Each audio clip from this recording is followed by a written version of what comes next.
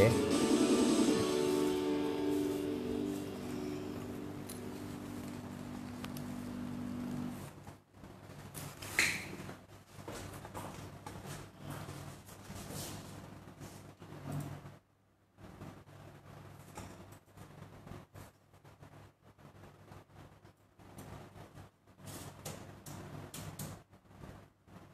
แล้วได้มาทักทายเป็นเดือนแล้วมั้งเนี่ยขึ้นเป็นเดือนเลยนะลาย นี่ถ้าพิมพ์อันใหญ่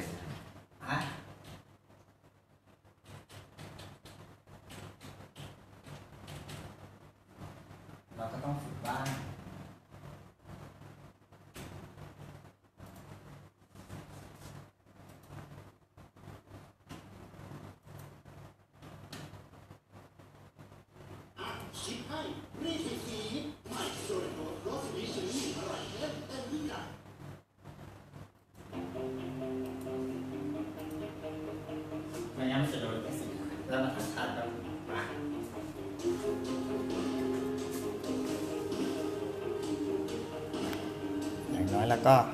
เหมือนเดิมคอนเซ็ปต์ยอดหลังอันนี้กลุ่มมาแชร์เนาะอืม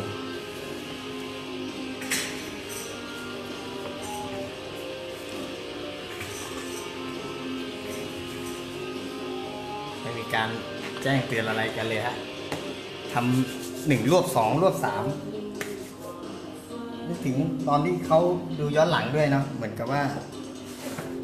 ก็เลยไม่ค่อยอ่านหน้าจอฮะ พูดไปเรื่อยฮะ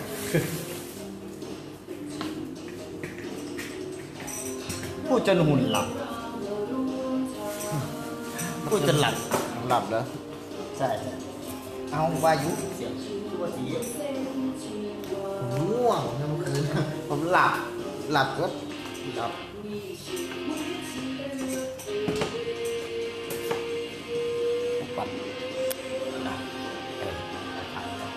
อย่างน้อยก็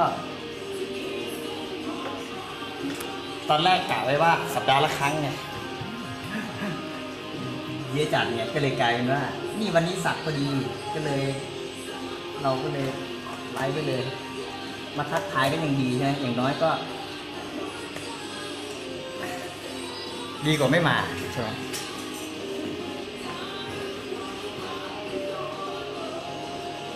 ขออนุญาตแป๊บหนึ่งฮะเคลียร์ก่อน สวัสดีครับ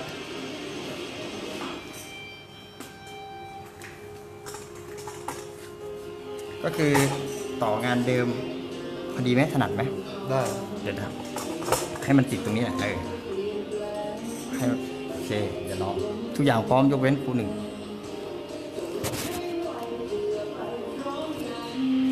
แผนการ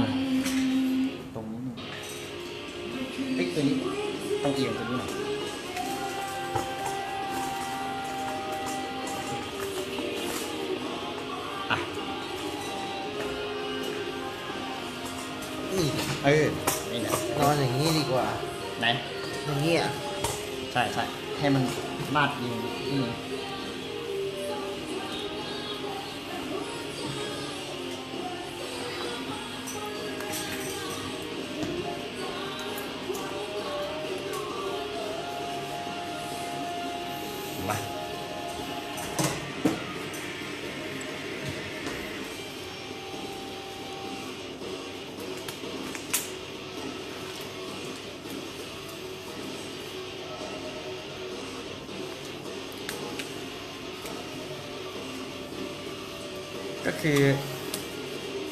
พูดไปเนาะเผื่อว่า ตั้งใจทำนี่ก็คืออย่างน้อยอย่างที่ผมคิดนะครับทำมันมันไม่ได้แอบแฝงผลประโยชน์เพื่ออะไรนะตั้งใจทำก็เลย ก็เลยว่าเผื่อมันเป็นประโยชน์ใช่ไหมครับอย่างเช่นวันนี้ผมจะมาแชร์เทคนิค เทคนิคมันมีหลายแบบมากนะครับ การหาผลลัพธ์มีหลายแบบมาก มัน มันมีหลายแบบของความถนัดใช่ไหมเราทักษะความสามารถเราต้องใช้ความถนัดตัวเองเป็นที่ตั้ง ผมเลยมาแชร์สิ่งที่ผมถนัดเนี่ยสิ่งที่ผมจะใช้ในการทำงานวันนี้ เครื่องโรตารี่วางไว้นนู่นไหนสีดำอ๋อจะปิ้ว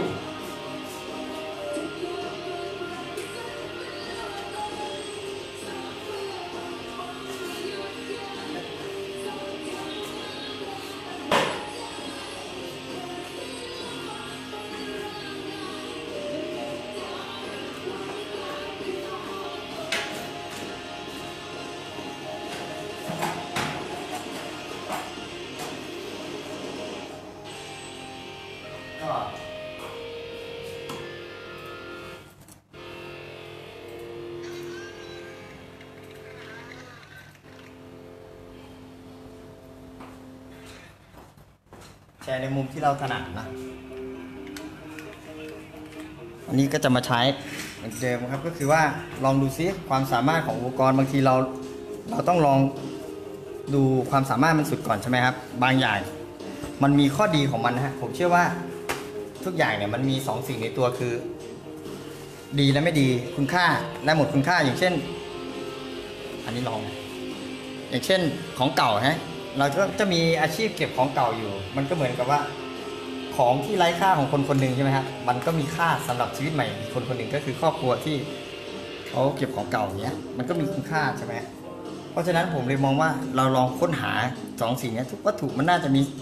ทั้งคุณค่าและไม่คุณไม่มีคุณค่าอะไรเงี้ยอยู่ในตัวอยู่แล้วใช่ไหมก็เลยว่าผมก็เลยยังไม่ตัดสินมันก่อน ว่าอันนี้ไม่ดีมันต้องมีอะไรดีก็เลยศึกษามันดูซิ มันอาจจะ อันเนี้ยมันก็สำหรับผมก็อาจจะทำให้ หลายคนว่าเอ้ยมันเสียเวลาใช่ เพราะว่าเรามีประสบการณ์แล้วสำหรับคนมือใหม่ฮะมือใหม่ที่เริ่มต้น บางทีก็ยังไม่รู้จะเริ่มต้นยังไงเหมือนเหมือนผมแต่ก่อน ก็ลองดูซิเครื่องแบบเนี้ย เรามีอยู่บ้านเพราะว่าคงไม่มีใครกล้าตุ้มเดียวใช่ไหมฮะเขาก็จะต้องซื้อมาทดลองก่อน พอซื้อมาทดลองเนี่ย ผมนึกเหมือนกันไง เราไม่ต่างกันกล้าซื้อเครื่องแพงๆเลยไหมล่ะมันก็ยากใช่ไหมล่ะบางทีเรายังไม่รู้จักเลยเครื่องแพงมียี่ห้ออะไรบ้าง มันก็เลยเนี่ยลองเนี่ยผมก็เอาธรรมดาก่อน คือพอดีมันมันเจ๊งด้วยใช่ไหมฮะไม่ใช่ว่าลูกค้าหุ่นอะไรพวกนี้เขาจะอันนั้นใช่ไหมฮะก็คือ ถ้าเราลองเข้าใจวิธีการมันดีดู มันมันก็ทำให้เราทำงานเร็วเหมือนกันนะ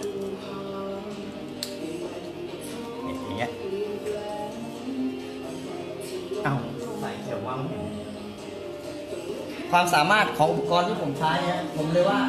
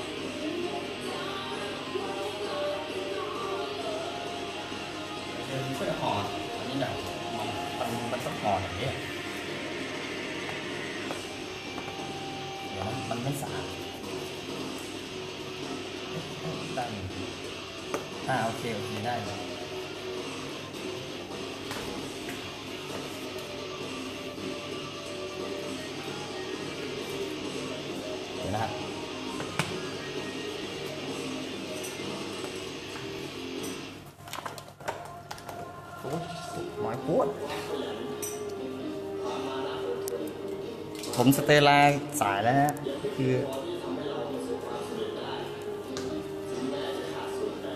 เรามาต่องานเมื่อวานนะครับ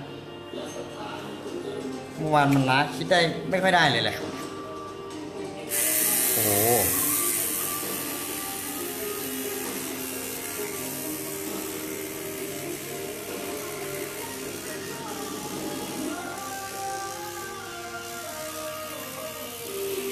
อันดับแรกเช็คกำลังก่อนก็ใช้เข็มฮอกฮะวันนี้อยากจะให้เห็นวิธีการแตะสีเหลือบเหลือบซ้ายขวาซ้ายขวา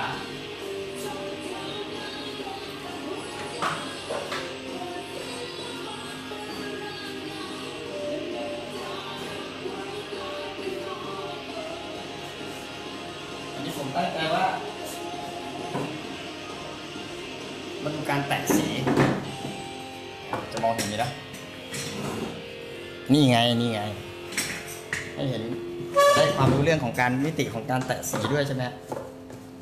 ต้องเอาผ่านด้านนี้ก่อนทางบ้านจะได้เป็นไงฮะปรับประยุกต์ใช้ ถ้าเราไม่รู้จะซื้อสีไหน แบบนี้เลยครับ แบบนี้กรณีศึกษาเลยผมจะทำให้ดูนะครับว่า แม่สีก็พอแล้ว เมื่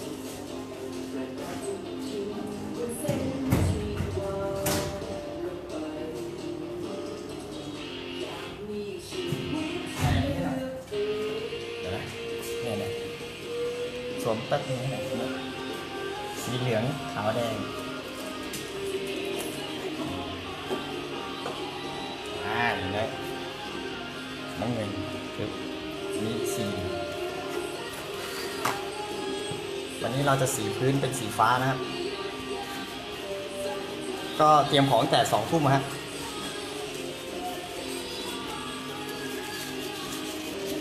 เราเตรียมตั้งแต่สองทุ่ม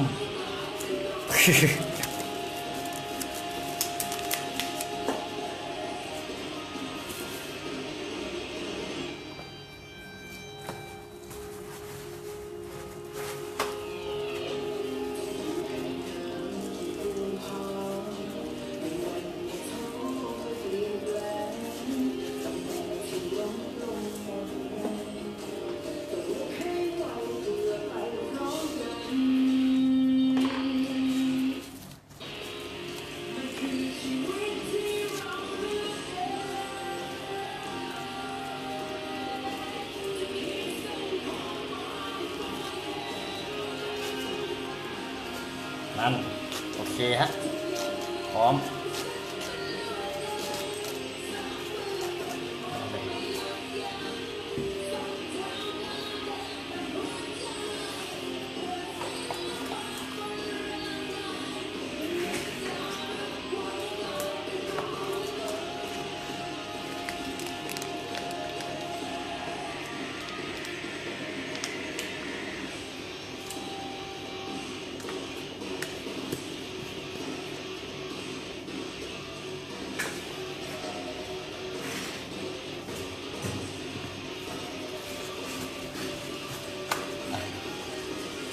ค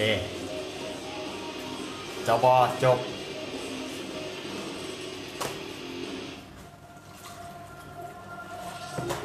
จริงแก้วน้ำมันต้องใหญ่ๆ มันถึงจะแบบเหมือนเราเขียนสีน้ำฮะผมก็เลยใช้แก้วน้ำแยกออกเป็นสองแก้วก็คือ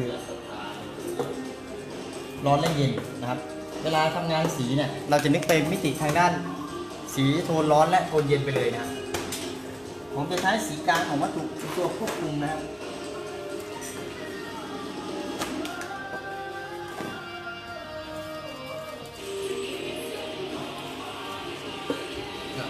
ครับ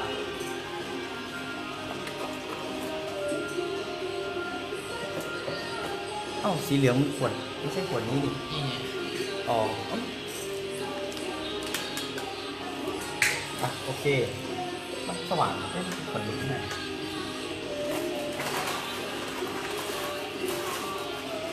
อะทีนี้มาดิ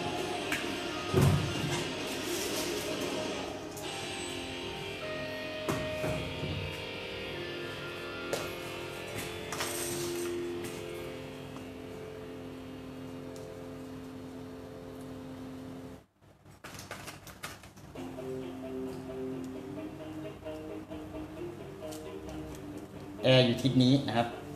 ผมก็เลยใช้แก้วน้ำบัง บังแอร์นะเห็นแบบไหนก็คือนี่ชัดแล้วสีสักกลัว ความเย็นด้วยนะครับแอร์นะครับ มันมีกลีเซอรีนและแอคเ l ลแอลกอฮอล์ผมก็เลยป้องกันด้วยการใช้ อะไรบางหน่อยนะครับเพราะแอร์อยู่ทิศขวามือนะ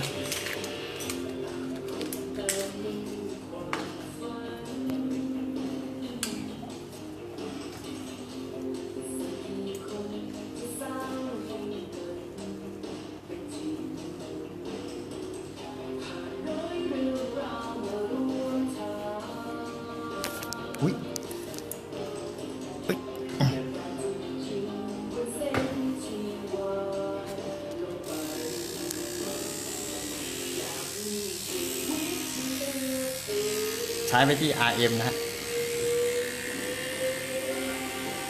อันดับแรกอย่างความลึกก่อน ผมจะอย่างความลึก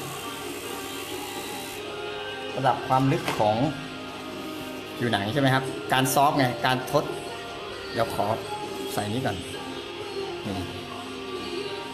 การทดความลึกเอยอะไรเอยใช่ไหมครับ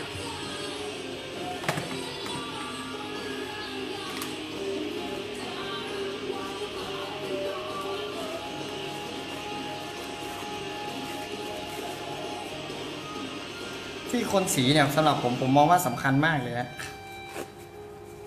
ความละเอียดของสีอะ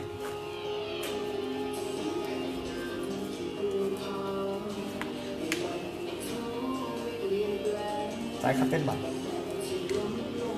อันนี้ก็สักต่อเนื่องนะครับ แล้วก็อาจจะ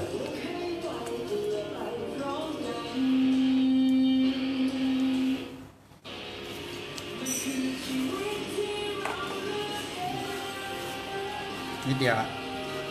อันนี้ใช้แค่แม่สีแล้วก็ใช้ฝาผมว่า เราเราใช้ฝาใหญ่ก็โดนอากาศใช่ไหมะมันแห้งเร็วมันแข็งเร็วนะครับกิสลีนทำปฏิกิริยากับอากาศนี้เนาะมันแป๊บเดียวก็ติดเข็มละ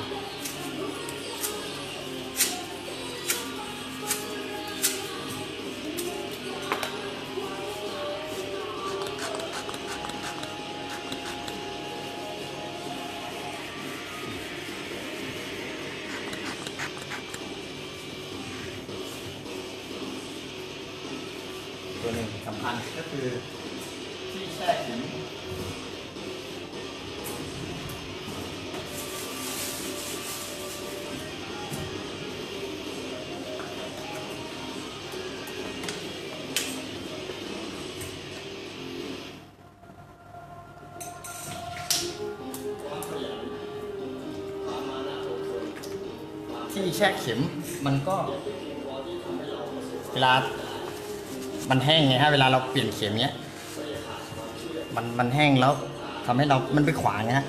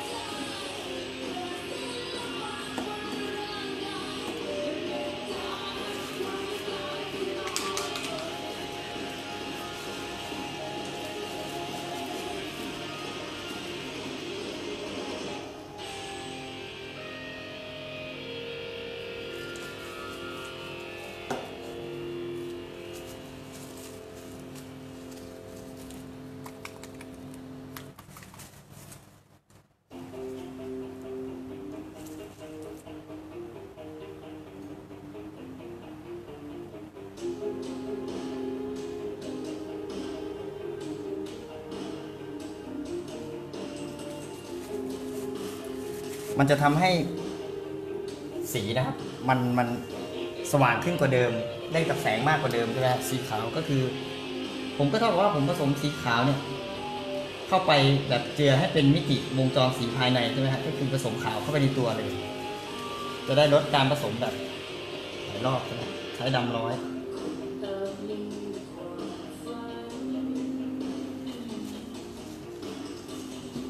แล้วก็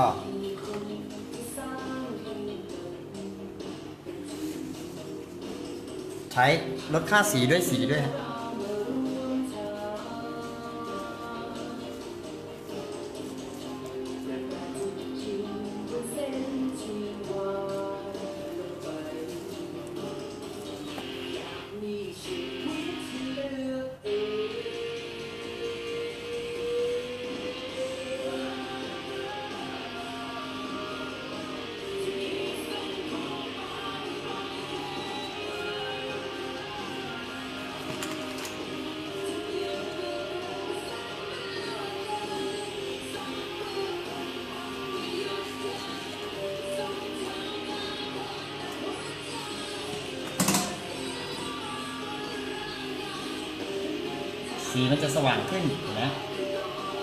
ค่าสีด้วยกระดาษทิชชู่ครับแสดงว่าผมตัดเข้ามาสู่วงจรภายใน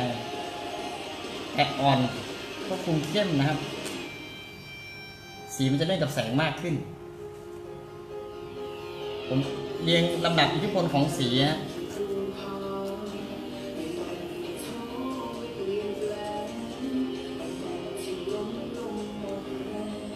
แบ่งร้อนและเย็น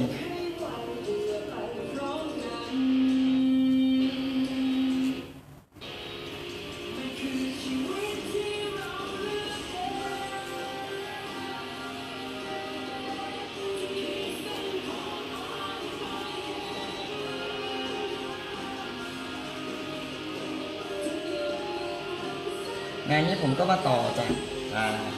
พอดีช่างเขาเดินเส้นไว้ใช่ไหมครับก็เลยเราก็มาลงสีฝึกไปด้วยครับไม่ค่อยได้ใส่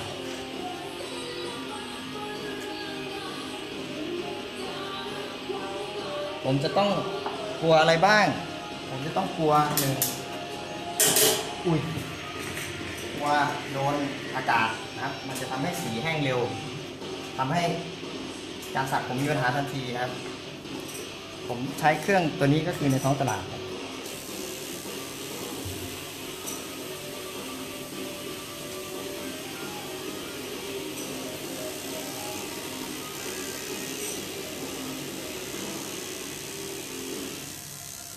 เวลาแตะก็เมื่อผมผสมขาวแล้วใช่ไหมครับ เร็วครับด้ามจับยากหน่อยช้าหน่อยแต่ก็ยังพอทำงานได้ใช่ไหมครับ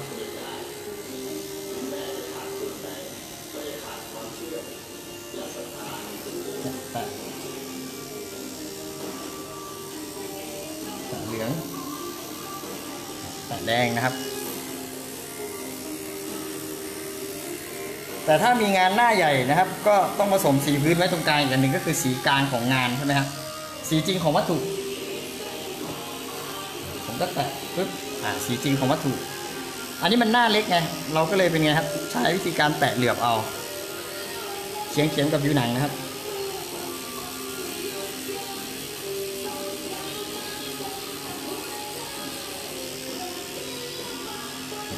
อย่างเงี้ยก็ติดแล้วนะครับ ถ้าเรามองเห็น คือลดค่าสีด้วยน้ำเห็นไหมแตะร้อนและเย็น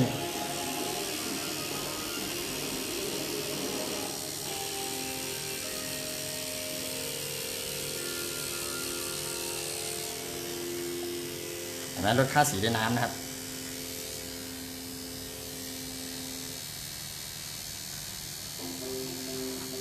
เพื่อให้มันดูสดขึ้นใช่ไหมฮะ ผมก็แบบนี้ถ้าเราแตะอ่อนก็ลดเนี่ยเอียงเข็มแตะนี้ก็ได้ฮะเพราะว่าสีส้มเนี่ยมันก็เหลือบเหลืองเหลือบส้มอยู่แล้ว ผมก็เลยว่า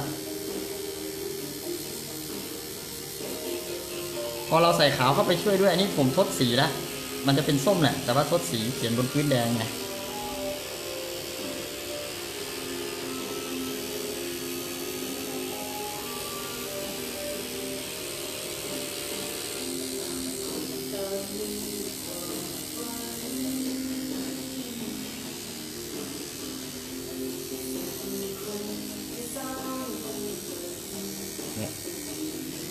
เสียงเข็มเอานะครับ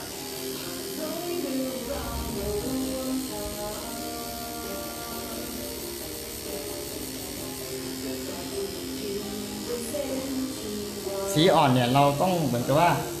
ทิ้งไว้สักพักนะฮะใช่ไหมมันเหมือน ลือดมันแดงอะผิวมันแดงฮะนี่ผมเหลือบหน่อยให้มันแน่นก็คือเป็นมิติของความแน่น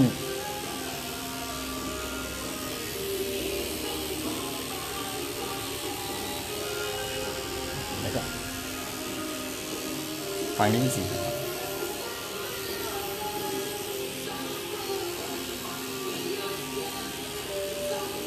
แล้วก็แตะแบบเข็มแตะอย่างนี้ก็ได้ครับ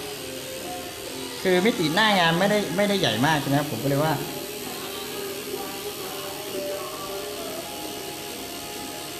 เฉียงเข็มแล้วก็แตะเอานะครับ ถามว่ามันก็ มันได้หลายสีไงมิติสีมันจะมากขึ้น ถ้ามีหน้าใหญ่ก็ผสมหน้าใหญ่ก็คือ อย่างเช่นปลาคาร์ฟตัวสีส้มเนี้ยมันก็ต้องผสมสีส้มไว้เยอะๆใช่ไหมครับ เป็นหน้าใหญ่ แล้วก็ค่อยมาแตะเหลือบ แม่สีเอาตั้งไว้ตรงกลาง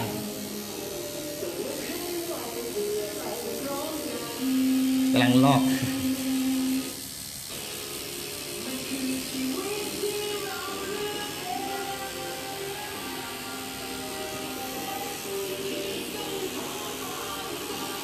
เลือดก็อาจจะ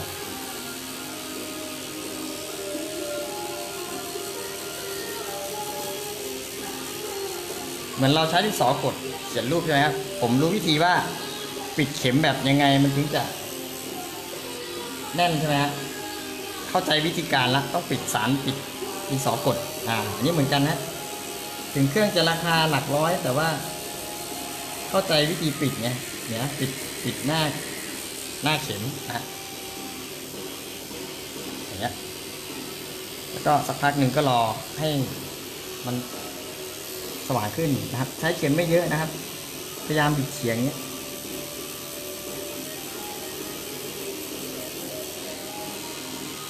คือพยายามบิดเฉียง ก็ใช้ RS ก็ได้จังหวะนี้นะครับ ซึ่งผมว่ามันบิดเฉียงได้ใช่ไหมหน้าเข็มมีสีหน้า แล้วก็บิดเฉียงหน่อยแรกๆ20 นาทีแรกก็อาจจะช้าหน่อยฮะเพราะว่าเหมือนเราปรับจูนอยู่ใช่ไหม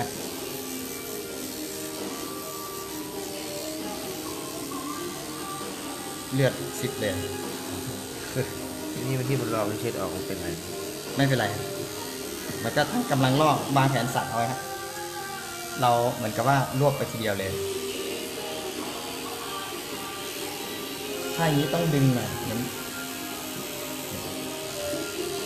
ม่วงเหลือบเข้าไปหน่อยเงามืดเนี่ยฮะ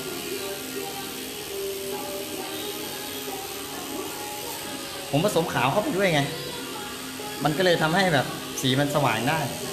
เพื่อให้มันเป็นแบบเรื่องราวเดียกันก็ใส่ จะดึงเข้าไปสู่ตัวงูแล้วไงฮะ งูมันโทนเย็นนะฮะผมจะดึงเข้าไปสู่โทนเย็นละก็คือ มีเซ็กอ๋อมีแบบเซ็กแซกกันใช่ไหมครับเหมือนฮาร์โมนิกดึงสองสิ่งคือโทนเย็นเข้าหากันละเข้าไปสู่ตัวนั้นเนี่ยก็ ก็ต้องใช้เงาพวกนี้เข้าไปช่วยนะครับเดี๋ยวมันจะวาดรูปแบบ แค่หน้ากระดาษเดียวกันแต่คนละเรื่องราวอย่างเงี้ยผมก็จะแทรกเตรียมเข้าไปสู่เงา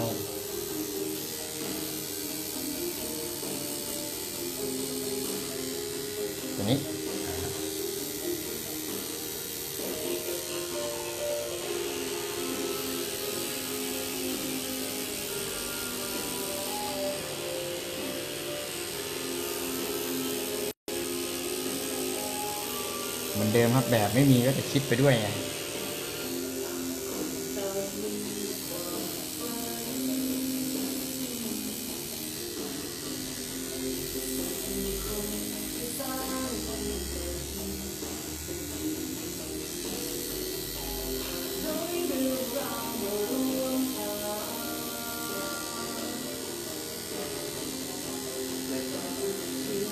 เหมือนกับว่าให้มันฮาร์โมนิก งานก็คือให้มันเตรียมประสานไปสู่ ตัวงูแล้วไงครับ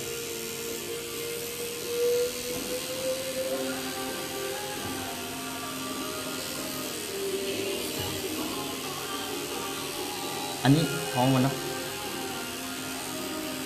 ท้องมันเนาะใช่ครับอืมนี่มันเพิ่งโดนเมื่อคืนเจ็บเลยใช่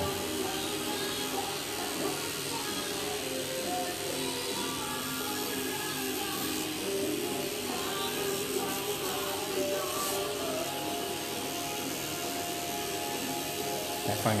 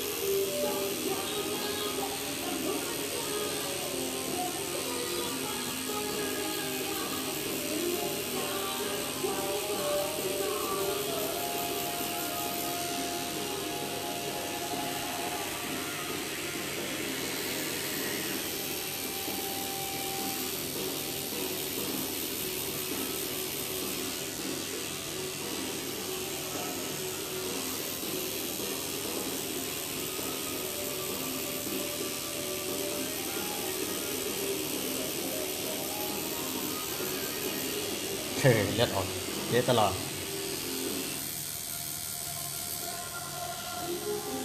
เมื่อวานก็หมดไปกระมังหนึ่งฮะเลือด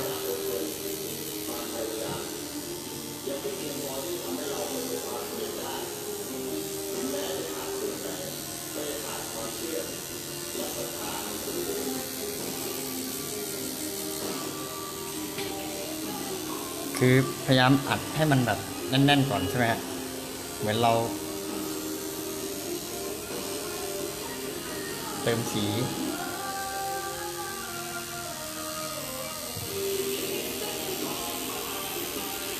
สีอ่อนนะต้องทิ้งไว้สักพักหน่อยนะครับ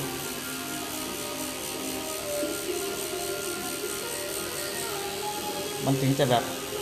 มันเห็นปุ๊บแล้วมันสักพักหนึ่งจะหายไปใช่ไหมมันอ่อนเงี้ยมันสู้ค่าสีสีไม่ได้ยิ่งเลือดออกเงี้ยอาจจะเกิดหนึ่งพักผ่อนน้อยใช่ไหมฮะบางทีเขาทำงานช้า แอลกอฮอล์ก็ไม่ได้ดื่ม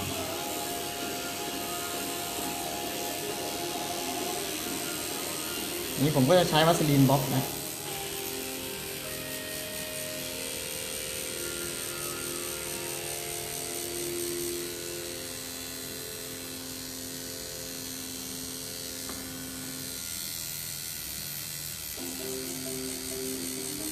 เสียงเค็มกับผิวหนังเนี่ย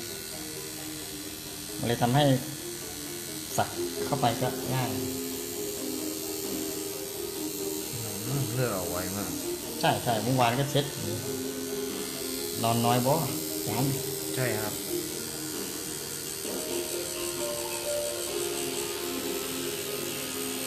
ตีเท้าเนอะ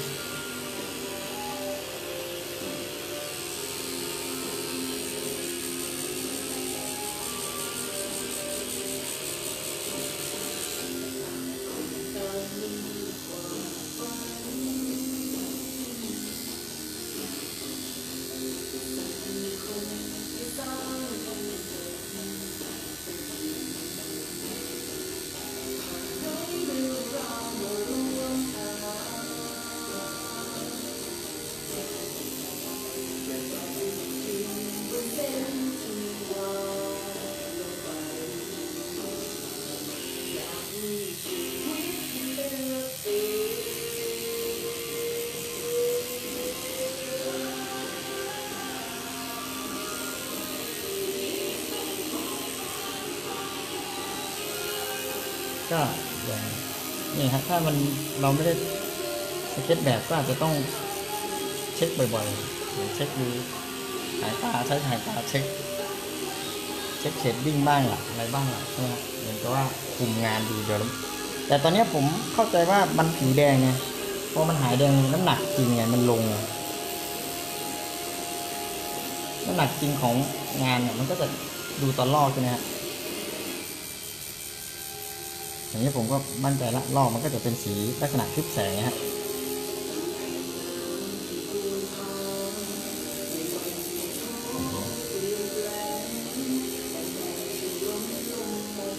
สีลักษณะทึบแสงแน่นอน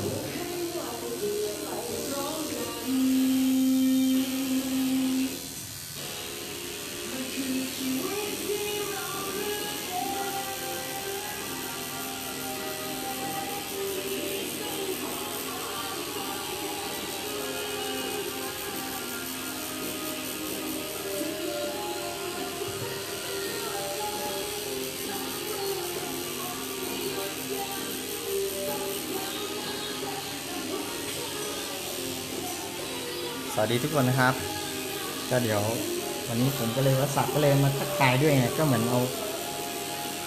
คลิกมาแชร์นะครับ มันคือมีวิธีการหลายแบบมาก ผมก็เลยเอาวิธีการที่ผมทำมามาแชร์ครับ ก็คือ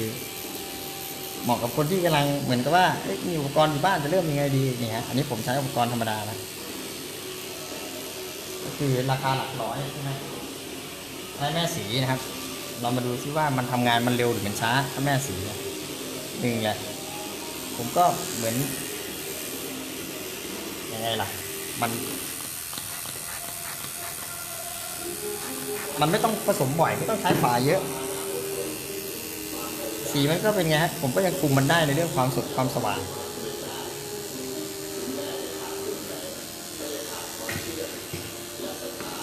เข้าใจ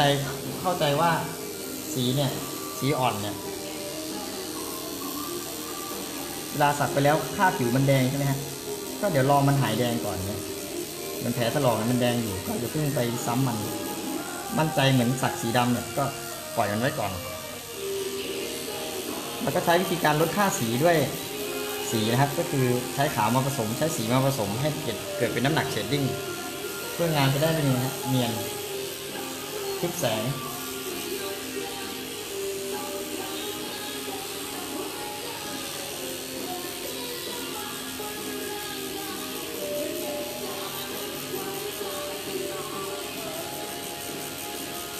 รื่องหลักร้อยก็อาจจะช้าหน่อยในเรื่องของการปั่นนะเพราะว่าแรงไปมันก็กระจุยแผลมันแทงไม่ตรงครับ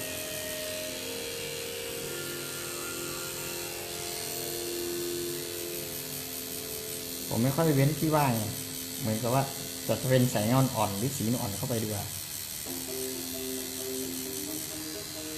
ให้มันดูแน่นๆก่อนดูเนียนแน่นๆถ้าเข็มเบอร์ใหญ่ครับ มันจะได้เต็มเร็ว ว่างปิดอะไรพวกนี้ล่องเข็มใช่ไหม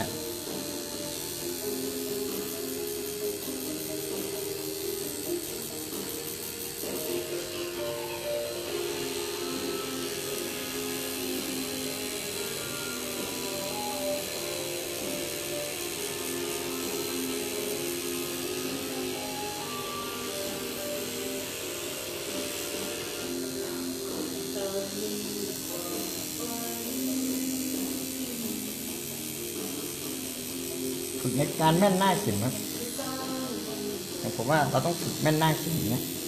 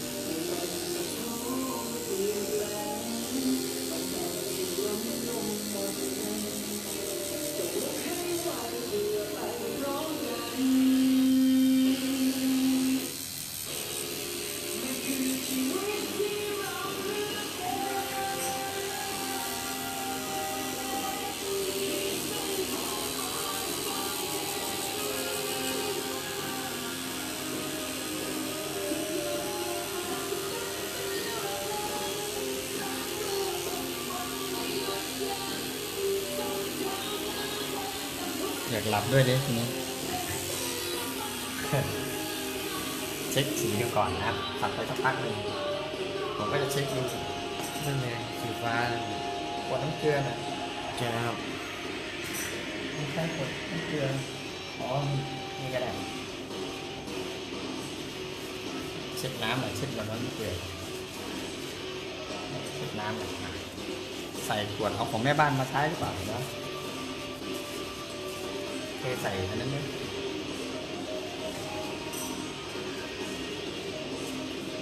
อืมจริงผมก็ไปเอาของเขามาผิดไงขวดนี้ผู้หญิงเขาซื้อมาไงจริง ๆ มันต้องใช้อีกขวดหนึ่งไงเราไม่รู้ไงอันนี้คือเช็ครอยเข็มแล้วก็เช็คสีฮะ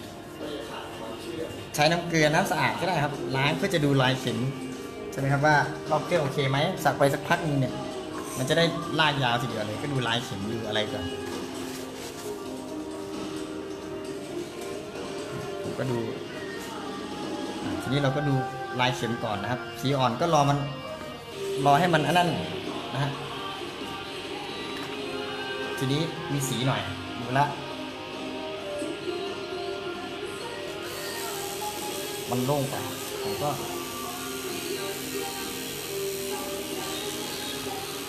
จะเข้ามาสู่งู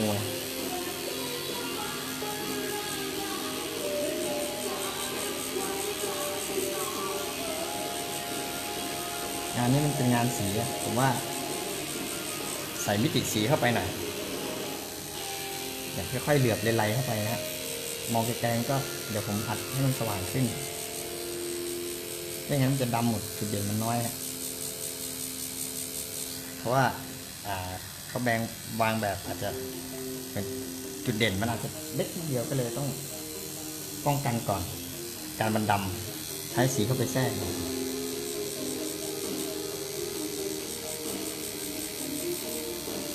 เลือดก็ออกเนี้ยหมอหมอไม่กลัวฮะ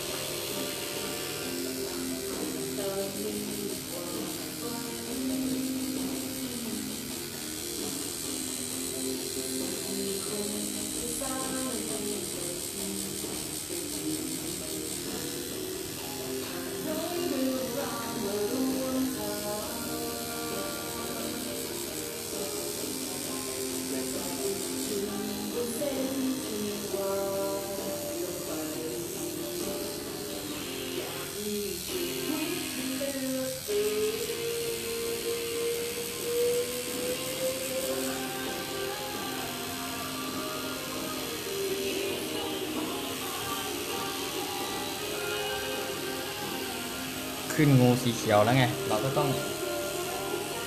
ไปสีเขียวต่อฮะ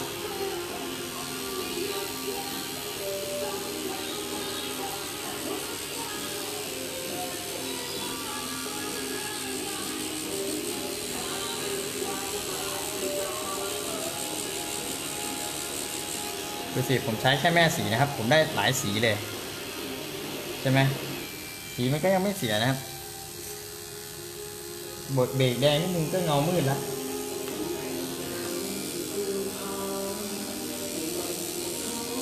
ทีนี้ก็แดงนิดนึงให้เป็นเงามืดเนี่ยมันก็เริ่มผสมเป็นเงามืดแล้วเบรกแดงลงนะไม่สดแล้วไง ผมก็เบรกแดงลงปุ๊บมันก็จะเป็นเงามืดนะครับ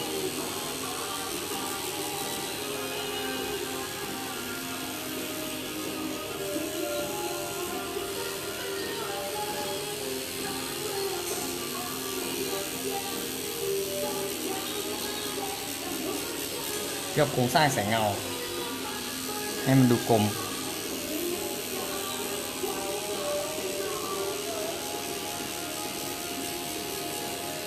ผมเคลือบเพื่อให้ให้ตัวมันดูม้วนดูกลม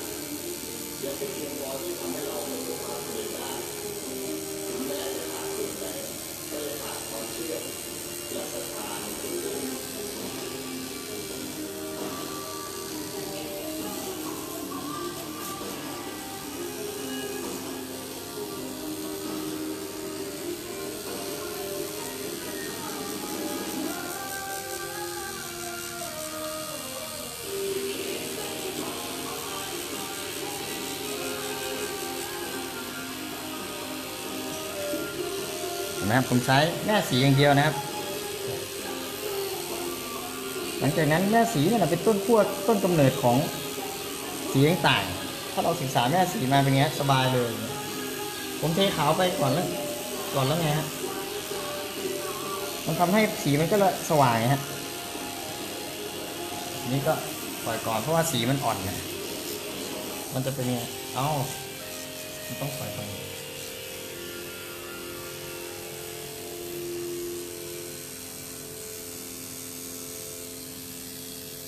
ผมก็แตะนิดเดียวฮะทำเงามืด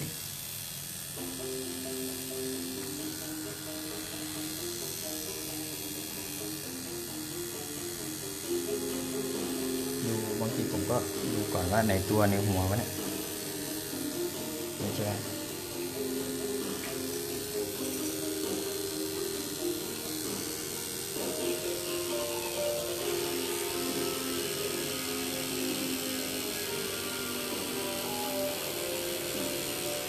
ติดเขียน realistic ไงมันเหมือนกับว่า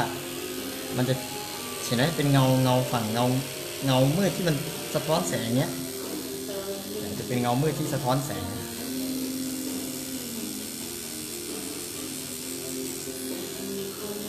ซึ่งมันอยู่ด้วยกันได้นะจะเป็นเงามืดที่สะท้อนแสงอีกนิดเดียวก็จะออกแล้วอุ้ย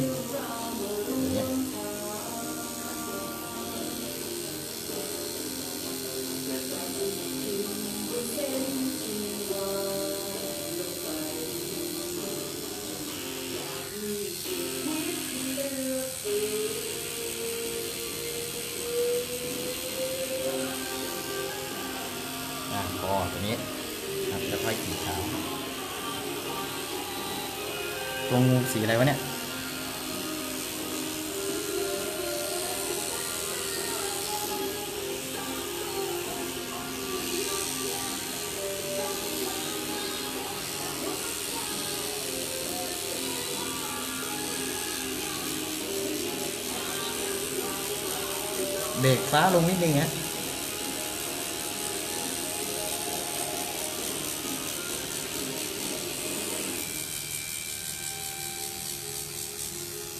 ผมเบรกฟ้าลงเพื่อให้มันเป็นแบบไปซ้อนเป็นเงาก่อน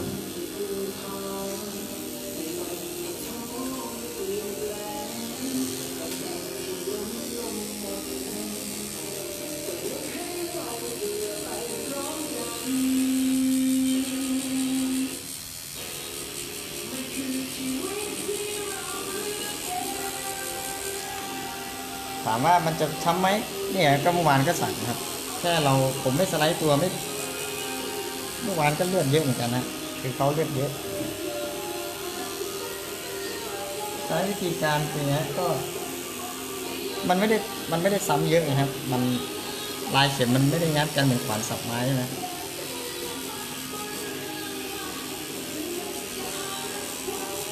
เครื่องสับก็ตัวธรรมดาครับเหมือนเหมือนจะใช้ความเข้าใจแทน อันนี้ผมก็อาจจะฮาร์ดหน่อยว่ามัน มันไม่มีแบบไงมันคิดไปด้วยไง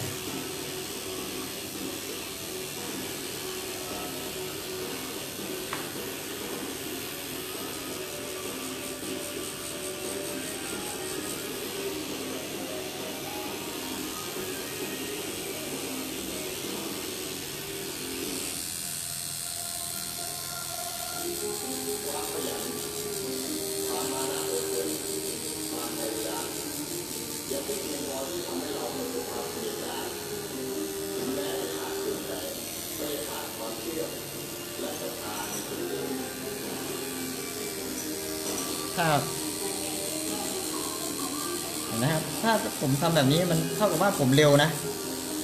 แล้วก็ประหยัดตรงนึงก็คือ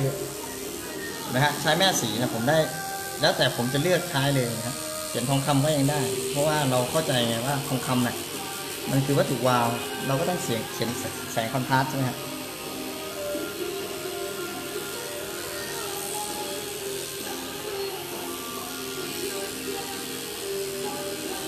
ติดอะไรอะติดสาย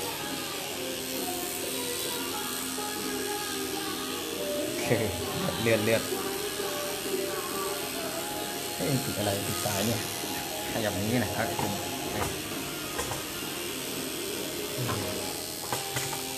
ติดสายอะมันติดสายของเนี่ยไหล่ะแขนนี่ไหนอ๋อโอเค อ่าให้ดูไปด้วยนะครับ ถ้ากรณีอยากถามก็เผื่อเผื่อผมไม่ได้อ่านนะส่วนใหญ่ก็ไม่ค่อยอ่านนะฮะอุ๊ย ก็ กล้องมันก็ขี้เมี่ยงอะเนาะอย่างนี้ดีไหมเห็นไหมเห็นอยู่เนาะแต่ดีกว่านี้เขายังเอาเลยฮะใช้น้ำเกลือนไหมทิ้งไว้นานก็เช็ดออกหน่อยครับ ผมจะอ๋อนี่ไงทำอย่างนี้ได้อยู่ ยืดไงนี่นะเขายืดได้นะเขายืดตรงไหน อ๋อ ยืดตรงนี้ตรงนี้ขอโทษ ขอโทษผิด นี่ไงมันจะได้มุมสูงขึ้นหน่อยนี่ไงนี่ไงเดี๋ยวแป๊บนึงนะเออมันต้องมุมสูงขึ้นนะเนาะท็อปวิวไงอุยุอายะอีหลีวะอะเดี๋ยวดูมุมสูง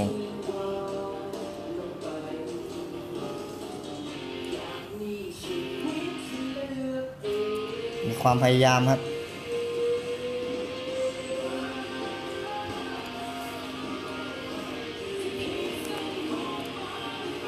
คืองานตัวนี้ผมสักต่อเนื่องใช่ไหมครับก็ระวังเรื่องของการหนึ่งแหละการเช็ดใช่ไหมครับเมื่อวานก็สักไปแล้วก็สองก็คือ บางแผนคืออาจจะช้าในเรื่องของการใช้สีทีเนี้ยโอ้เดี๋ยวเราให้เห็นการจุ่มสีด้วยนะ การแตะมิติเหลือบไง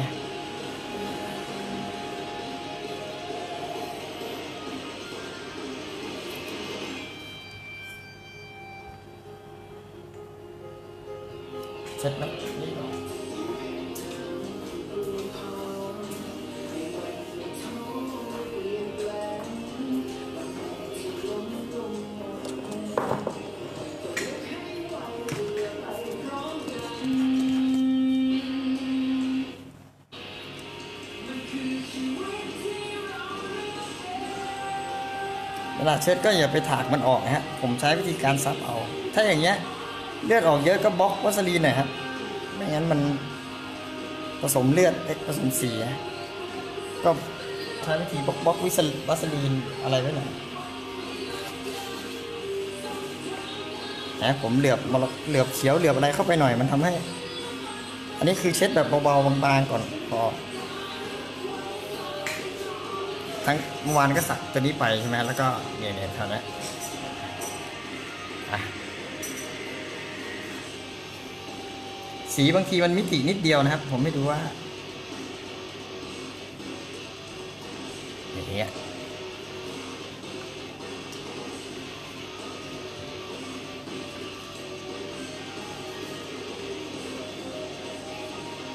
บางทีเห็นไหมผมเหลือบเข้าไปดีกว่าปล่อยดำใช่ไหมครับ มันมีสีสันกว่า เอา power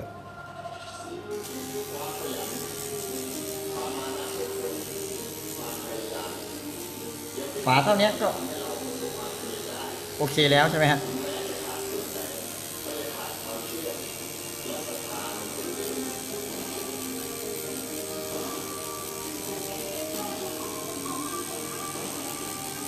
นิดเดียวมันก็มีผลกับงานนะครับ ผมก็เลยเก็บนี่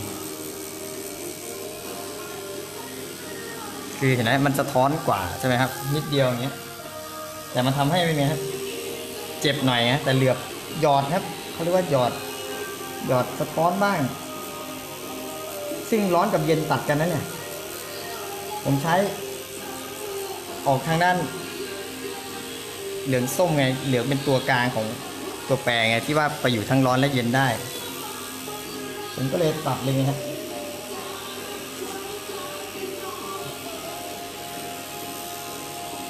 ให้มาดูสะท้อนไปเลยอย่างเงี้ย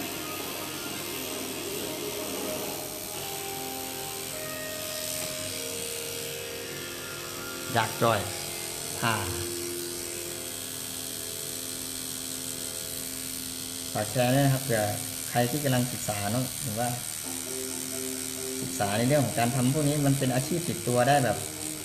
หนึ่งแหละมันทำงานคนเดียวฮะแล้วก็ผมก็ มาแชร์ในเรื่องของการลดต้นทุนหนึ่งนะฮะว่าถ้าเราเข้าใจวงจรสีแม่สีเราจริง ๆ แล้วมันช่วยเราได้เยอะ เรื่องของการทำงานใช่ไหมครับ สีขวดละสามร้อยนะฮะสามร้อยห้าสิบวะไม่ใช่ว่าซื้อไม่ดีนะครับ ดีครับ ก็เหมือนเราศึกษาไงผมก็เลยมาทำคลิปแชร์ในเรื่องคนที่ศึกษาแบบ แล้วส่วนอาชีพเนี่ยมันก็ต้องเอาเร็วเอาไวใช่ไหมครับ งานสักมันเจ็บไง มันก็ต้องเร็วก่อน เป้าหมายเราก็เลยเป็นไงฮะทำไงก็ได้ให้มันเร็ว เขาจะเจ็บน้อยแล้วก็เฉียบขาด ถ้าเป็นศึกษาก็เป็นไงก็ต้องยากหน่อย ถ้าเราศึกษาเท่าเดิมก็มันก็ไม่พัฒนาใช่ไหมครับความรู้ เราก็ต้องศึกษาหลับอยู่เลยนะฮะหุ่นนะ เราต้องศึกษาที่มันเป็นอะไรที่ไม่ยังไม่รู้อะไรเงี้ย ยังไม่รู้ว่าอ๋อมันใช้แค่แม่สีก็แบบนี้ก็ได้นี่อะไรเงี้ยสำหรับคนที่ไม่รู้ใช่ไหมฮะก็มันก็ช่วยได้เยอะ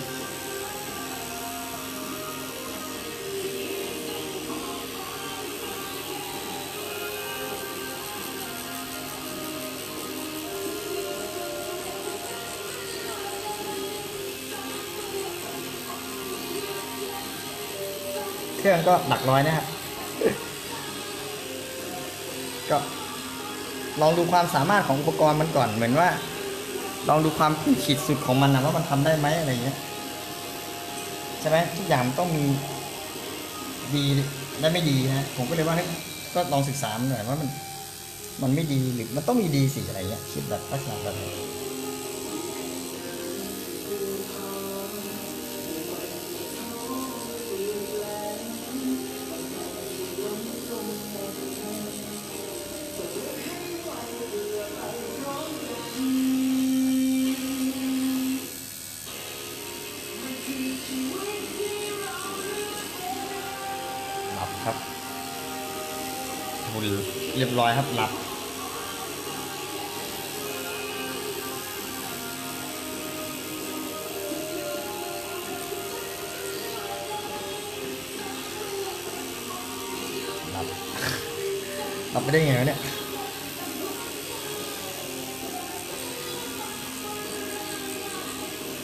ท้อนฟ้าฮะสะท้อนเขียวไม่ไม่ไม่สดไม่สวยไงอันนี้ผมใช้เขียวอยู่ต้องเอาเขียวมิ้นท์ให้ได้เขียวมิ้นท์วงจรภายในฮะแต่ผมเหลือไว้ก่อน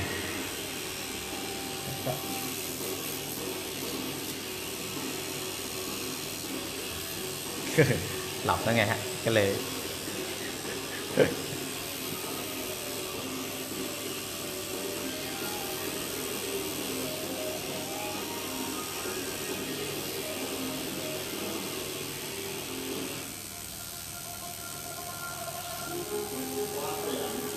ได้อะ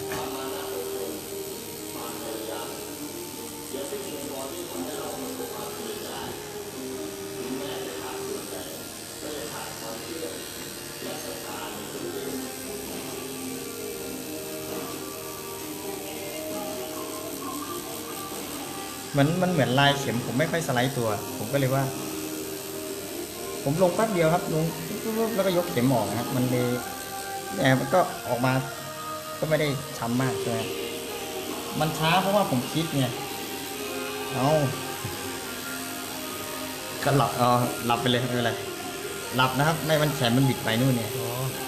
เอาเอาเบาะลงอีกไหมล่ะอะโอเคหลับได้ไงวะเนี่ย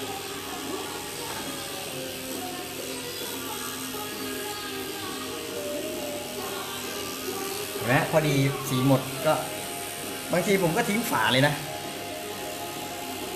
ถ้าสีมันไม่ใสก็เอาฝาใหม่เพราะยังไงเราก็เหมือนกันนะ ก็เอาฝาใหม่ แต่อันนี้มันได้อยู่ไงโทนมันได้อยู่ ผมก็เลยว่าใช้ฝาเดิมก่อน บังแอร์ไงเนี่ยโทนมันเป็นเขียวมิ้นแล้วไง ผมก็เลยว่าได้อยู่คือมันยังเอาอยู่ไงฮะ เรา ที่ที่คนสีเลยโคตรสำคัญเลยนั่นไงมันติดได้อยู่นะ เอาพัดทิชชู่รองนะนี่ไงมันเลอะนี่เปลี่ยนนี่อะ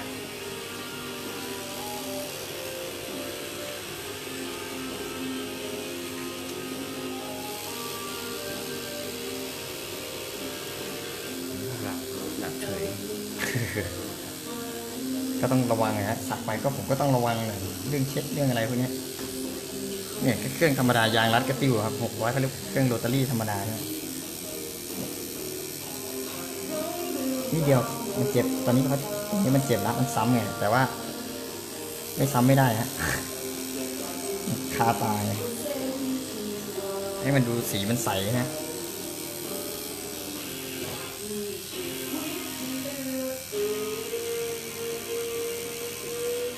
ให้สีมันใส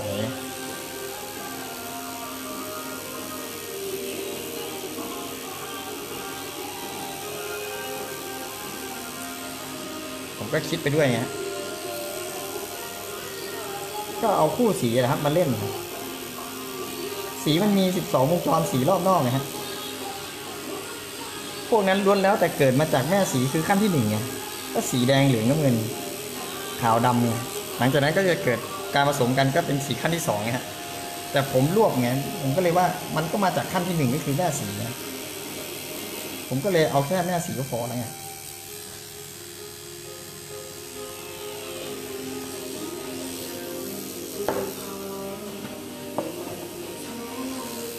สุดท้ายละออกไปละ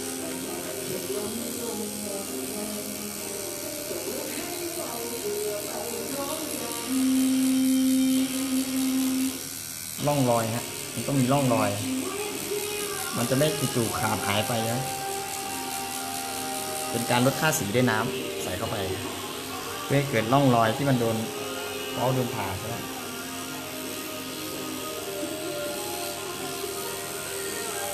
บางทีก็คิดไม่ทันก็คิดนานหน่อย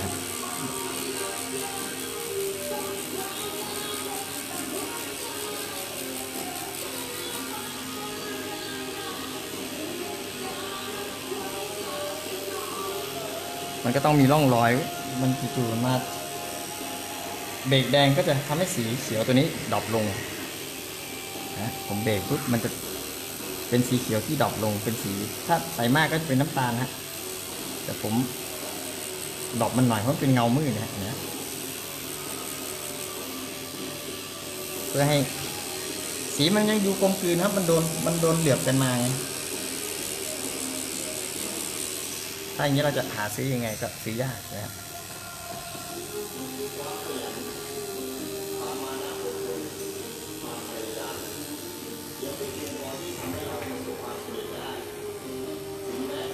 เช็คสีก่อนครับ มันต้องดูโทนภาพรวมแล้ว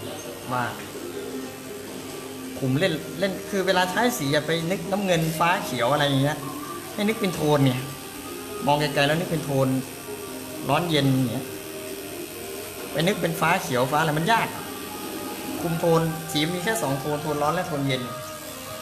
ก็ต้องนึกไปแบบลักษณะอย่างนั้นนะความสดใสไม่มีก็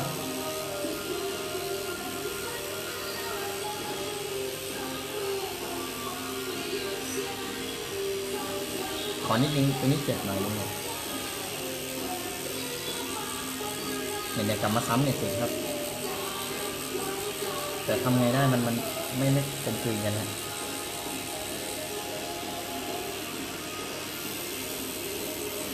โคตรเจ็บเลยครับ ผมรู้เลยตรงเนี้ยมันซ้ำไงจะหลับเฉยเลยตรงนี้ไม่เท่าไหร่ถ้าซ้ำตรงเนี้ยไม่ได้เลยอ๋อมันเพิ่งสักเมื่อวานเนี่ยเพิ่งสักไปเมื่อวานนี่ก็ก็คือดึงดึงน้ำหนักออกมาหน่อย อย่างเมื่อกี้ผมทดเอาฮะทดกับแดงอะมันก็จะเป็นส้มเนี่ยเหมือนรองพื้นมันมันมันแดงอยู่แล้วใช่ไหมเหมือนทดกันอะให้มันสว่าง ถ้าไปใส่ส้มมันก็ไม่ได้ส้มมันรองพื้นมาแล้วไง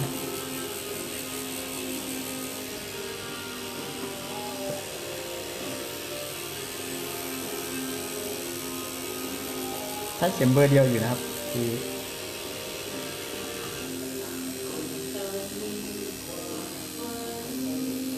อดีเคยอยู่ร้านป้ายก็เลยนึกมิติมันออก ว่าเขียนป้ายฮะใช้ผู้กันแบรนด์มันมันทำงานง่ายและเร็วกว่าผู้กันกลมนะมันเข้าคมเข้าเหลี่ยมเข้าอะไรง่ายกว่ากลมไหมฮะ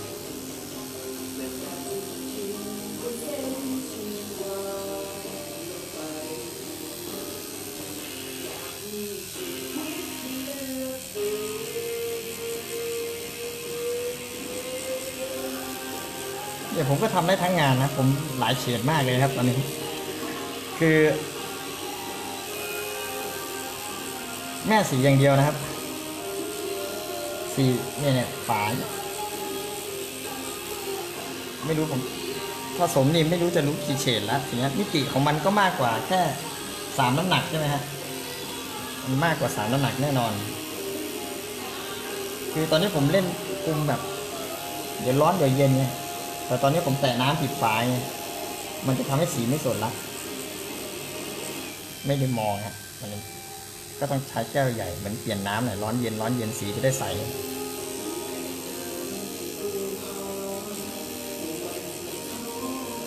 ขี้เกียจเปลี่ยนน้ำไม่ได้นะครับสักน้ำสี ขนาดผมว่า บางคนว่าเทสีมันก็ขี้เกียจเทสีนะ สีเหนียวๆเนาะมันไหล เราใช้บางทีก็ผมใช้ก็เนี่ยเข้าใจปุ๊บสีอ่อนก็เป็นไงสักแล้วรองไว้หน่อย ให้มันมีเนื้อไงฮะอันนี้ให้มันดูเป็นครีมครีมมุกมุก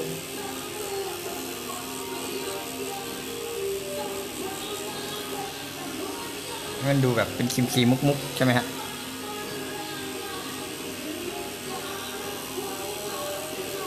ตัดกันทดกันบ้างอะไรอย่างเงี้ยวงจรสีครับผมมีคลิปไลฟ์มีอะไรพวกเนี้ยที่เกี่ยวกับอธิบายเรื่องวงจรสีเนี่ยพวกนั้นอะเราต้องเรียนแบบอย่างนั้นครับมันง่ายเลยนะฮะสีเนี่ยง่ายกว่าขาวดำนะครับเพราะสีเนี่ยมันบอกสีแดงสีอะไรได้เลย ขาวดำน่ะต้องสักขาวดำเป็นสีแดงอะซึ่งเป็นขาวดำอย่าเงี้ยอย่างเช่นหนวดฝรั่งเป็นสีขาวเงี้ยเราสักเป็นไงฮะต้องสักเงาอย่างเงี้ยแต่ถ้าเป็นงานสีเป็นไงก็สักตามแสงบรรยากาศย้อมอย่างเงี้ย ผมก็เอียงใส่ละก็ใส่ตามความเข้าใจบางทีเราก็นึกไม่ออกนะก็ค่อยๆไปนะมิติมิติสีมันก็มากขึ้นละ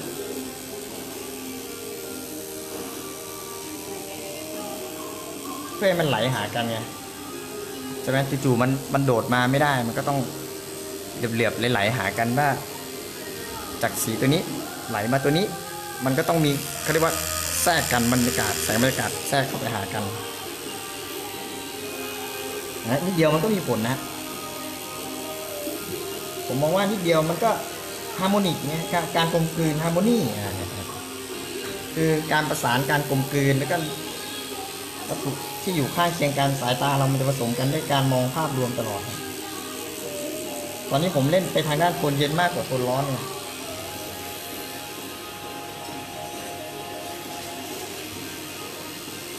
การทำงานแบบผมแบบนี้ข้อเสียคือมันจะกลับมาหยอดซ้ายขวา เพราะว่าหางตามจะต้องดึงสีของมันเองนะ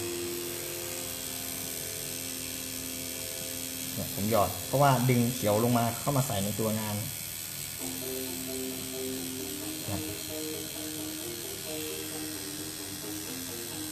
เราก็จะดึงปุ๊บ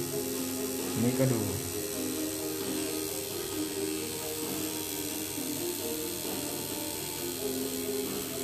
ะท้อนแทรก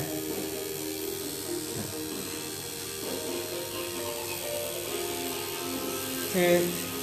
อย่างผมเนี่ยเคยเขียนภาพพวกนี้มาใช่ไหมครับมันกลายเป็นว่า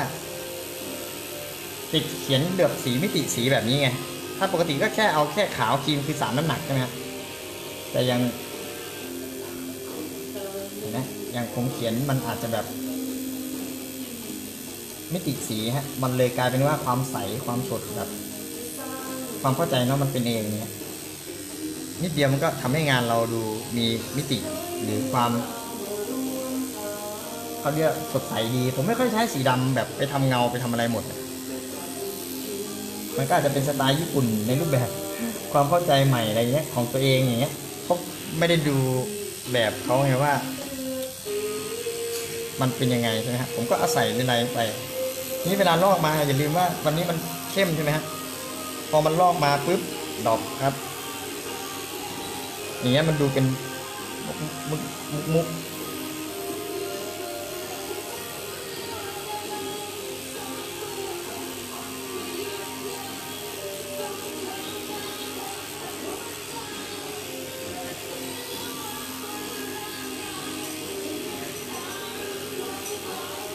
ไม่ออกครับตรงนี้ บิดด้านไหนนี่ด้านนี้เหรอ เดี๋ยวเช็ดก่อนถ้างั้นเนี่ยเดี๋ยวเลือดมันแข็งฮะคัดอ๋อโอเคโอเคอะเดี๋ยวเช็ดก่อนแล้วก็วาสลีนบอกเลือดมันจะแข็งเลือดมันเป็นทีนี้ก็เวลาเช็คงานเนี่ยผมจะใช้โทรศัพท์นะครับ ถ่ายเช็คนั่งดูครับ ดูภาพรวมวิธีการเช็คงานตัวเองเนี่ยอย่างผมถ้าเช็คสีผมต้องใช้ต้องนั่งดูครับ อย่างอย่างเงี้ยผมต้องมีโทนร้อนละ เหมือนกับว่ามีโทนร้อนโทนเนี่ยขอบิดนิดนึงตอนเนี้ย ก็คือตอนนี้อ่าของจริงมันก็จะดูค่อนข้างตอนนี้เย็นเยอะอยู่ใช่ไหมครับ เดี๋ยวผมใส่ร้อนเข้าไปก็จะเกิดความแตกต่างในเรื่องอะโอเคครับผมห้องน้ำก่อนอย่างถ้าผมแนะนำนะครับ ถ้าเราเป็นการศึกษาอย่างเงี้ยอย่างผมว่าถ้าเราเริ่มต้นแบบนี้ หลังถ้าดูคลิปที่ผมอธิบายเรื่องทฤษฎีสีนะครับ ทฤษฎีผิวหนัง ผมไม่ได้เก่งนะ แต่มันเป็นยังไงครับ มันเป็นรูปแบบเหตุผลไงเหตุผลว่า อิทธิพลไงครับก็ต้นกำเนิดของมันจริง ๆ ก็คือพวกอย่างนี้ใช่ไหมครับมันมันเป็นเหตุผลก่อนเนี่ยนะสีเหลืองก็ยังไม่ได้เสียมากใช่ไหมครับ ผมเอาขาวไปแตะมันก็ยังสว่าง ผมก็ควบคุมมัน สีแดงก็เป็นไงฮะยังเป็นแดงเหมือนเดิมอยู่นะ เวลาจุ่มไปเนื้อมันอยู่ข้างล่างไงอ่าข้อที่หนึ่งก็คือเห็นไหม อิทธิพลไงฮะผมก็ยังว่ามันไม่ได้เสีย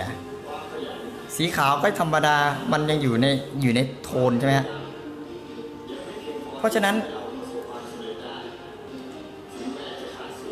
เราเป็นไงฮะคือถ้าอย่างถ้าผมแนะนำน่ะซีเลี่ยงมากเลยกล้อง ให้ดูแบบนี้ฮะเห็นไหมมันไม่ไม่ได้เสียนะเปลี่ยนน้ำน้ำจะไปทำให้สีเสีย แต่ตอนนี้ผมเหมือนเทใหม่ๆเลย ถ้าจำใครถ้าจำได้ตอนแรกก็คือ เห็นไหมสีกลับมาเหมือนเดิมครับ ผมไม่ได้ไม่ได้ไปอะไรมันใหม่ ผมเติมแค่ขาวครั้งเดียวนะครับ แต่ผมสักมาเมื่อกี้เป็นไง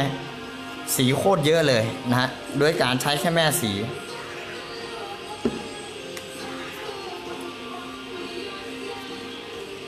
ผมก็เลยว่าศึกษามันหน่อยครับ ช่วงเนี้ย ถ้าทำเป็นอาชีพอย่างเงี้ย มันช่วยให้เรานะศิลปินต้องลดคอต้นทุนได้นะครับ ศิลปินจะต้อง ทำเวลาได้ วันนี้ผมใช้เครื่องธรรมดาไงมันทำเวลาก็เป็นไงมันค่อย ๆ ไปไงมันแทงแล้วไม่ตรงมันแทงแล้วปัด แต่ถามว่าเราเริ่มต้นถ้าเราศึกษามันดีมันก็แก้ปัญหาได้ใช่ไหมฮะก็เลยว่าฝากอย่างเงี้ยนะครับแล้วก็เดี๋ยวผมพักเบรกแล้วก็เดี๋ยวก็มาต่อให้มันขึ้นรูปนะครับ ที่แน่ผมอยากจะฝากเรื่องของทริคพวกนี้นะครับ ถ้าเป็นประโยชน์ต่อสังคมผมฝากแชร์ด้วยนะครับ เพราะว่าสิ่งเหล่านี้มันไม่ใช่ว่าใช้แค่สักตัวใช่ไหมฮะมันใช้เขียนรูปใช้เพ้นท์ใช้อะไรต่างเพราะต้นกำเนิดของวงจรสีเนี่ยจริง ๆ แล้ว สีขั้นที่หนึ่งก็คือแม่สีนั่นเองนะครับ คือมีแค่นี้เห็นไหมฮะเป็นแค่นี้ ซึ่งมันอยู่แบบนี้ดำอยู่ภายนอกฉะนั้นผมก็เข้าใจแล้วว่ามิติของสีเนี่ยมันก็จะเกิดเป็นเขียวใช่ไหมเขียวยังไงก็ได้นะครับ ที่แน่ๆก็ต้องรู้ว่าแดงกับน้ำเงินเนี่ยถ้าถ่ายเอกสารขาวดำเป็นไงฮะไอตัวเนี้ยไม่ต้องไปคิดว่าร้อนหรือเย็นครับ มันอยู่ตรงกลางที่ไปร้อนก็ได้ ไปเย็นก็ได้ มันเท่ากันเนี่ยเป็นทั้งร้อนและเย็นนะครับ เหลือง ส่วนขาวและดำอยู่กับสีไหนก็ได้ ทีนี้มันก็จะเหลือโทนร้อนและโทนเย็น เราไม่ใช้สีเป็นฟ้าเป็นเขียวนะครับ เราใช้เป็นโทนใช่ไหมฮะเราไม่ใช้ว่าเอ้ยเอาสีเขียวสีฟ้าดี เราคิดเป็นโทนครับโทนฟ้าเอ้ยโทนร้อนโทนเย็น เพราะฉะนั้นการใช้โทนที่เท่ากันเนี่ยมันเป็นยังไงครับ มันทำให้สายตาเรากวาดไปกวาดมาเช่น ผมทำแบบเนี้ยมันเป็นยังไงมันสายตามันก็ ต่อให้มันห่างอะอยู่ในพื้นที่อย่างนี้ก็ได้ แต่มันเท่ากันน่ะคืออาจจะเป็นพื้นที่แบบอย่างเงี้ย แต่ว่ามันเท่ากันเป็นไงฮะอุ้ยเรียบร้อยเลยครับสี่แสนแปดเลย อันนี้เสียดายนะขนาดไปหกฝาหนึ่งใช่ไหมฮะ ผมใช้สีโคตรแบบนะเริ่มใหม่เลย ฮะดูดิฮะอันนี้ผมสักได้เกือบแขนท่อนล่างนะฮะฝาเดียวนะครับ ฝาเล็กๆ ศิลปินถ้าทำงานศิลปะมากวันขึ้น สิ่งต่อไปคืออะไรครับ อุปกรณ์ต้องน้อยลงความรู้และความเข้าใจต้องมากขึ้น ใช่ไหมครับ มันถึงจะเป็นอาชีพของไม่งั้นอาชีพนี้จะไม่อยู่นะครับ ใช้แต่ของที่มันแพงไปอย่างเงี้ยมันมันจะอยู่ไม่ได้นะครับ เพราะว่า เราไม่ได้ขายอุปกรณ์ใช่ไหมฮะถ้าทำเป็นศิลปินเขียนรูปหรืออะไรพวกเนี้ยเราขายข้างในคือความสามารถ เราจึงต้องโฟกัสไปที่ความสามารถมากกว่า พวกนี้นะครับ ถ้าผมไม่มีสีน้ำเงิน ผมต้องแก้ปัญหาเงี้ยก็หลีกเลี่ยงการก็ไม่ถ้าไม่มีสมมติผมไม่มีสีดำไม่มีอะไรผมต้องดีไซน์ใหม่อะเปลี่ยนเลยก็ได้ผมว่า ผมก็ต้องดีไซน์ สมมติว่าผมไม่มีสีน้ำเงินทำไงดีจะสักงานสี ผมก็ต้องดีไซน์เป็นงานที่มันเป็นดีไซน์ที่ไม่มีสีน้ำเงินก็ได้ เพื่อความอยู่รอดต้องใช้ความเป็นศิลปศิลปะเนี่ยเข้าไปดีไซน์ ผมไม่มีสีดำสักวันนี้เขาอยากได้งานสัก ผมต้องนำเสนองานรูปแบบที่มันเหมาะเขาในรูปแบบไหน สักตัวเป็นเอกภาพ ผมก็ต้องดีไซน์นำเสนอใหม่ ผมผมเป็นอาชีพ ผมเป็นศิลปิน ผมต้องนำเสนอว่า พี่ลองดูเทรนใหม่ไหมสีน้ำเงินเดินเส้นอย่างเดียวได้ไหมเฉียบขาดในเรื่องของการวาง compose เป็นไงฮะนำเสนอได้ไม่ใช่ว่าโอ้พี่ผมไม่มีสีจบเลยครับ มันไม่ได้ มันไม่มีว่ารอ feel นะครับ feel สำหรับผมมองว่ามองไม่เห็นภาพแค่นั้นคิดอย่างอื่นเนี่ยสำหรับผมว่า ไม่มีนะคำว่ารอฟิวเราเราถ้าเราเหมือนคุณหมออะลูกค้าเขาเดินเข้ามาเนี่ยเขากะว่าเอาศิลปะไปช่วยแก้ชีวิต หรือทำชีวิตให้เขาดีขึ้นใช่ไหมฮะทีนี้เป็นไงฮะถ้าเราทำไม่ได้อย่างเช่น เราผ่าตัดเหมือนหมอ ลูกค้าเดินเข้ามาร้านแล้วเราทำไม่ได้อย่างเงี้ยแสดงว่า เราก็ต้องศึกษาให้สามารถเป็นเหมือน เราเป็นหมอศิลปะไง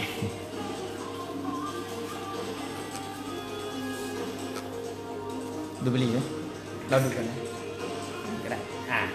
คุยเลยใช่เดี๋ยวเดี๋ยวฟังเพลงก่อนก็ได้ครับ เอ้ยตอนสองดีกว่าตอนสองดีกว่า มันจะยาวไปนะครับ ผมก็แชร์ไว้แล้วก็ส่วนใหญ่ก็ นึกถึงดูย้อนหลังมาแบบนี้ดีกว่าไม่มาครับ เดี๋ยวผมพักเบรกแป๊บหนึงครับ